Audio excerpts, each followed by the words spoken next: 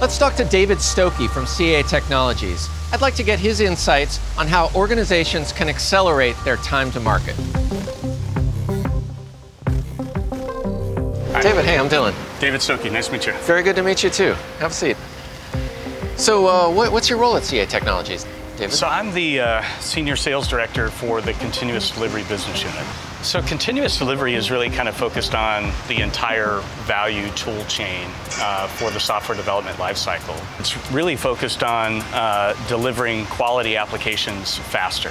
So do you have a good example of a customer that's had to dive into continuous delivery like this? We had kind of proactively approached um, an airliner uh, carrier Okay. And we had 14 people okay. uh, who had never been in a room together before. Oh, really? Right? Okay. So you, you, can imagine the, the, good things that come out of that, that yeah, kind yeah. of conversation, right? Uh-huh. So you, you literally had people sitting in the room going, I don't know why I'm here because my piece only takes 10 minutes. Okay.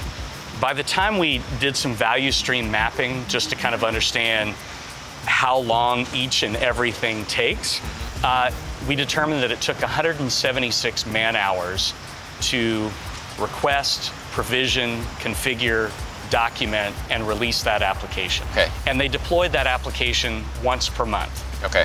That 176 man hours translates into $1.3 million every single time they deploy that application. Okay. So if you can actually get into a conversation and say, well, if I could take that piece that impacts six, seven, eight other people that takes 10 minutes every single time you do it, yep. and I can just do it once, right. wouldn't that be worth it? Right. Right? It's kind of hard to argue with that. Right.